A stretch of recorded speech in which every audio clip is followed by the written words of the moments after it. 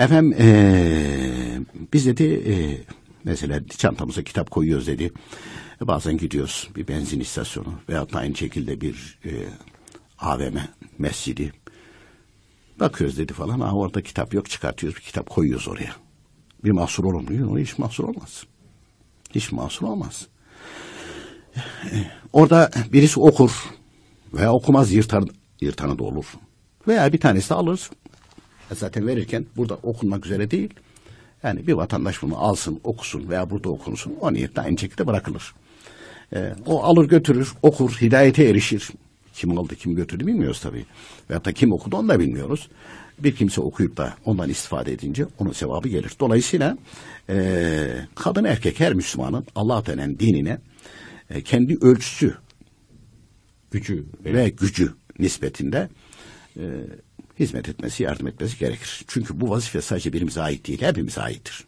Allah Teala rahmet eylesin. Emel abiler birçok fedakarlıklarda bulundu. İşte Türkiye Gazetesi'ni, İlas Holding'in Türkiye Gazetesi, ondan sonra TGRT'yi kurdu, TGRT Haberi, TGRT Belgeseli, TGRT FM'i.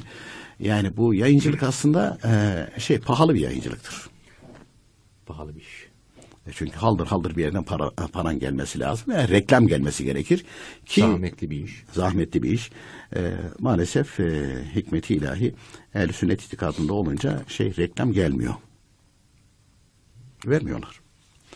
E, ama fıskı fücur olmuş olsa adamlar birbirlerine bildiği için birbirlerini tehdit ediyorlar. O tehditlerle birbirlerine de reklam veriyorlar. Piyasada böyle Müslüman firmaymış gibi böyle algı yapanlar, öyle tanınanlar filan onlar da vermiyor yani herkes bilsin. Evet, o vermiyor. Hani bazılar diyor ki efendim bizim burada verici bozuldu bozuldu da para yok.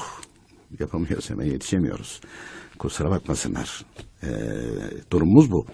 Hani bütün bu sıkıntılara rağmen e, Enver abiler allah Teala rahmet eylesin kayınpederler Hüseyin İlmi Efendi bütün sıkıntıları üzerlerine almak suretiyle allah Teala'nın kullarına doğru itikadı, doğru imanı ulaştırabilmek için bu müesseseler kurdular. Bu müesseseler kurdular. E, kitaplar harıl harıl basılıyor. Gazete çıkıyor. Her gün orada dini sayfası var. Mesela ona. Efendim işte ben okuyamıyorum. Bana. Yok. Ben internetim. O, aa, o değil o. Bu gazeteye mutlaka abone olmamız lazım. Mutlaka ama. Eve mutlaka girmesi lazım. Yani oku okuma. Ya bir Yahudi aynı şekilde İbranice çıkan bir gazete. Seneler önce ta lise yıllarında okumuştum ben. Ha bir tanesi gitmiş demiş ya sen İbranice falan bilmiyorsun demiş ya. Niye alıyorsun bunu? Ben demiş Yahudiyim. Ben demiş almazsam o batar.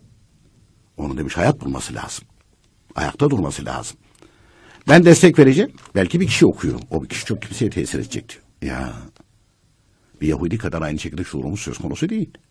Şeyde bile bir anlatıldı hani konu konuyu açıyor da e, Sultan Mahmud Gaznevi Hazretleri rahmetullahi aleyh bir yere gidiyormuş. Bakmış bir yerden geçerken yani iki dağın arasında çok güzel bir köprü yapılmış. Çok hoşuna gitmiş. Ya demiş Allah razı olsun kim yaptırdıysa bunu. Demişler efendim özür dilerim ama Müslüman değil bunu yaptıran. Mecusi demişler. Allah Allah demiş. Çağırttırmışlar gelmiş. Sultan Mahmud Gaznevi demiş ki ne kadar buna şey harcadıysan üstüne karını da koy ben satın alayım. Ben satın alayım. Adam diyor ki satmam. Bakmış hani sultan zorlayacak. Köprünün üstüne doğru koşmuş. Ben demiş bunu dini için yaptırdım demiş. Pat demiş atmış kendisini aşağıya. Pat demiş atmış.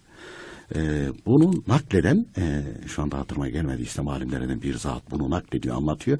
Anlattan sonra da dönüyor. Ey Müslüman diyor. İhlası Allah rızasını diyor bir mecusiden mi öğreneceksin?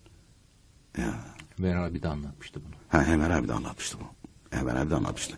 Onun için efendim ben okuyamıyorum da falan da feşmek kadar bundan hiçbirisi mazeret değil.